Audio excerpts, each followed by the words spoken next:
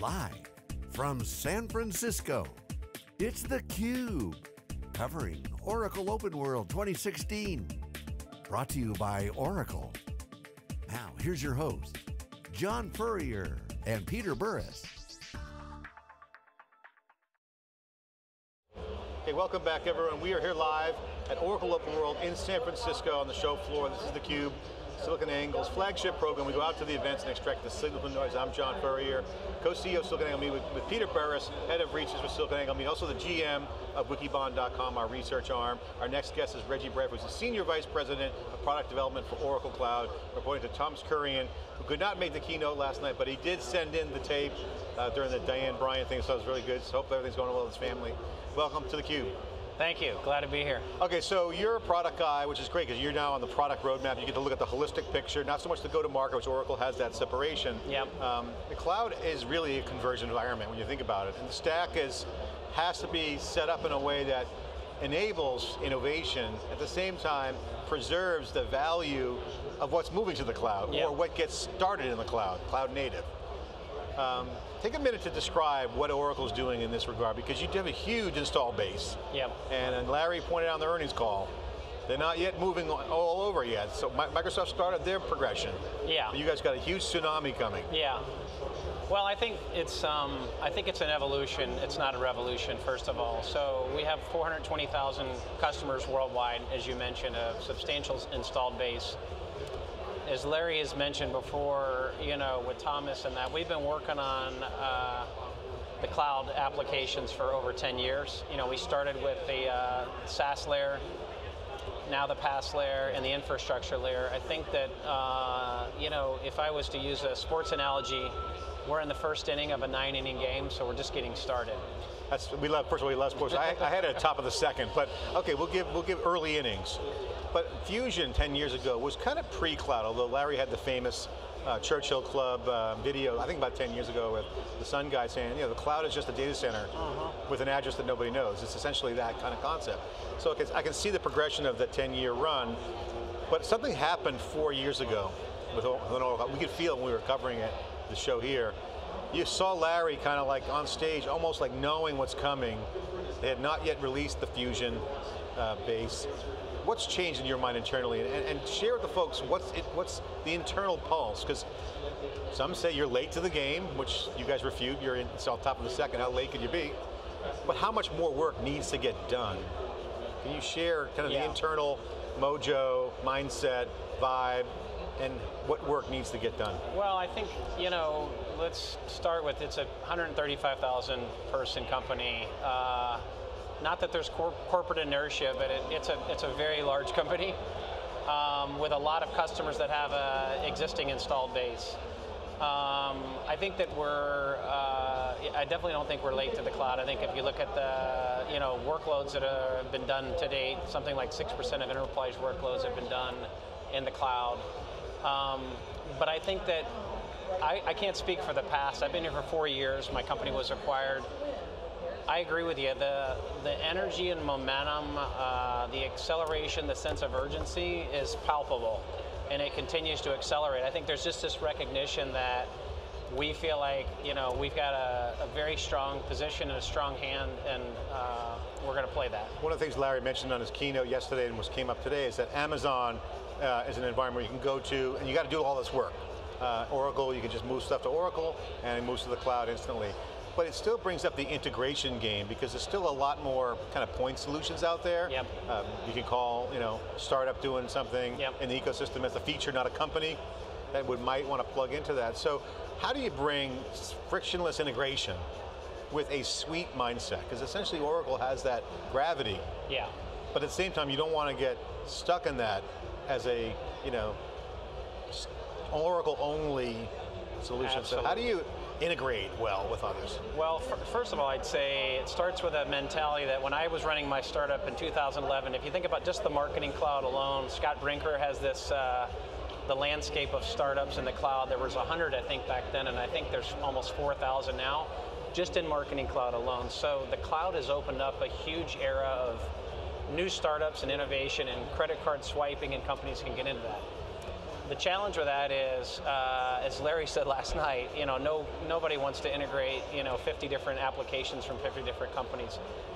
I think that we come in with this, you know, we've got all the layers of the stack, but we also, we've got to have a mindset and a mentality of being able to be open to best of breed, to bringing in solutions from startups, uh, you know, via APIs and making it easy for them to work with us and want to partner with us. I think that's the, the future for Oracle. Do you see Oracle inside, or do you see Oracle facilitating other brands? So is it more, going back to what John's point was, is a customer going to sit down with an Oracle screen and access stuff, or is it going to customer going to sit down with an Oracle framework and know what they're accessing through the partners? Well, I think it depends on the on the product uh, and the customer. I'd say we're going to be both. I mean, I think we've got the breadth and depth and capability to, you know, to be a you know an inside um, platform type approach or infrastructure, but also if you look at like an HCM or ERP or marketing cloud, you know, we're going to be on the on the front end. Do you anticipate that you're going to go more horizontal as opposed to vertical? So you're going to go from the raw infrastructure to the horizontal and let other folks verticalize? Is that kind of how the thinking is? Um, I don't know that we see, you know, necessarily a distinction at this case, at this point. Um, we obviously have a big uh, industry. Uh, you know, you guys have probably talked to them before. Go-to-market group and um, entire business unit. Um, but I think we're going to continue to take the market, you know, what the market gives us and continue to push out our solutions. So Reggie, I talked to a lot of your customers um, all the time on theCUBE and other you know, channel partners at Oracle, and one of the things that keeps on coming up is that the uh, swim lanes of the database, obviously Kurian is all over this, is a big part of the business. And you're starting to see now with the, the cloud being more of an integrated IaaS, PaaS, SaaS, the role of the database is certainly changing and it's, but it still makes up a big bulk of the business. However you kind of consolidate the numbers, however they fall, the database is 70% roughly of the business, my opinion, my, my, analysis. Okay, so I wrote a tweet um, last night, kind of being snarky, but kind of you know, on the whole Tom Brady thing, bringing up sports analogy. Free Tom Brady, I said free the database. uh, meaning that um, one of the theses that the Wikibon research have come up with is that with free data, you have more data exposed for potential use. And by having locked in data, you can still manage the systems of record and then start getting at a whole new set of engagement data that could then spawn another set of innovation on top of it. This is clearly where the market's going in memory and whatnot. So question, what's going on with the database? How do, how do you talk to customers and saying, okay, the database can be fine, yeah, you can use some other databases, they'll still work with Oracle. How do you have that conversation? And are you, are you breaking down that swim lane, broadening the swim lane for the database team? Yeah, I think, you know, I, I think from a in a business model standpoint, to use your Tom Brady analogy or your tweet. Um, the database is suspended for yeah. four games? um, I, I, don't want to make any declarations on, uh, you know, the kind of the future business models, but we, I think the fundamental underpinnings of a lot of these new capabilities that are enabled with data, uh, whether it's AI, machine learning, um, Internet of Things, I think that those are going to be, you know, best leverage when you've got, you know, the broadest and deepest swath of internal and external third-party data, and I feel like we feel like we've been in that business from day one uh, yeah. 40 years ago, and now we have the broadest suite uh, or capability and data, and integrating that data and making it easy to consume and use. So it just seems that the, you know the old move that Oracle made, which I thought was brilliant, the database business, and then WebLogic was a nice sticky component to that, allowed the extensibility. So we're seeing that same dynamic in the cloud where we want some reliability, it wants some high quality. As Larry said yesterday, it's hard to do what you do, I get that. But at the same time, there's a growth opportunity, there's an innovation strategy for Oracle and your partners, a developing ecosystem or potentially channel partner. Yeah, So absolutely. we need to see that thing. So you guys talk about that in the product group and, and what specifically does that translate to in terms of new features, new focus? Yeah, I mean, we've got, again, we've got a very robust data cloud uh, strategy, which is leading in the internal and external third party, uh, marrying that, those data sets together and integrating those into our product suite on the application side. Specifically around the database, opening that up to third parties and how that evolves. Um, I think there's going to be more to come on that. What's the biggest thing that people are missing when they um, try to understand and squint through the Oracle um, just breadth of, of, of, massive size? When well, you look at the cloud strategy, the numbers aren't really killing it. I mean, it's four billion for Oracle, I mean, it's still small relative to the big piece of the pie. A lot more growth to go. Yeah. That should be comforting to Wall Street at least. But you know, from a from a market perspective, where, is, where is the what does the cloud mean? I mean, how would how Well, do you have that conversation? I think that the what what's missing is that, that if this was a standalone company, it, it'd be Public. an incredibly you know viable uh, IPOable company with a growth rate faster than anybody you know at scale in the cloud, growing double the growth rate. Um, I think another uh, unknown is that you know we sell a lot of product to s- companies under 500 million in revenue. 75% of the user base of the customer base is under 500 million in revenue. So we call that small to mid-sized business. So everybody thinks Oracle is only an enterprise uh, class company. We are enterprise class, but we also scale down, and I think that's part of the announcements that you've seen today. and the new net new customers are higher than they were. Exactly. And the growth thing, I'm, you know, I'm, I'm like, okay, 77% from where you were. I doubled my market share from one to two percent. I mean, percentage is a good benchmark. I get that, but like, at the end of the day, the numbers are the numbers, right? So the, the you know, cloud native is attractive. It- But it's hard, as we were talking about on our intros, that it's hard for companies to get there. Just, Yeah. Just they're got, they have their own inertia. So we're really trying to understand what's the path for the customer. When you talk to a customer and think about the customer from a product as you roll out products, they want that bridge. Is that the PaaS layer? How do you guys? Well, we, we try not to define it. I, I, I think it is, it, it can be challenging because we do have so much product and we cover so much ground. But, you know, that's what makes us so successful and that's why companies rely on us. Um, I think the good news is we have the most flexible platform. If you want to move, you know, some of your workloads, you want to move some of your applications to the cloud, you want to do a hybrid, you want to transition over time. You know, we've said 100% of our customers are going to move to the cloud, and 100% of our applications are going to run in the cloud. But that's we haven't set a timetable on that. I want to spend the rest of the time of the segment to talk about your entrepreneurial background. Um, you sold the company to Oracle four years ago, so you've been in the system for four years. Um, but prior to that, you had to be nimble, and you also did some acquisitions. I don't know if they were acqui-hires, but ultimately Yeah. you were putting together a lot of stuff. So dealing with different product roadmaps. So two questions. One is, how does that go on today? Is, is there any agile to that uh, in terms of doing that? Is it hard? Is it easier today than it was before? And two, for startups out there, there's a lot of startups out there that aren't going to make it. They're not going to be the unicorn. They're not going to be that big company, but they might be a nice $10 million business. And but it's looking for an ecosystem. Yeah. So the second part, which I like to take first, is I'm a startup. I'm not going to make it to the IPO. Maybe it's a lifestyle business, cash flow business, whatever the word. I need a home. I need an ecosystem.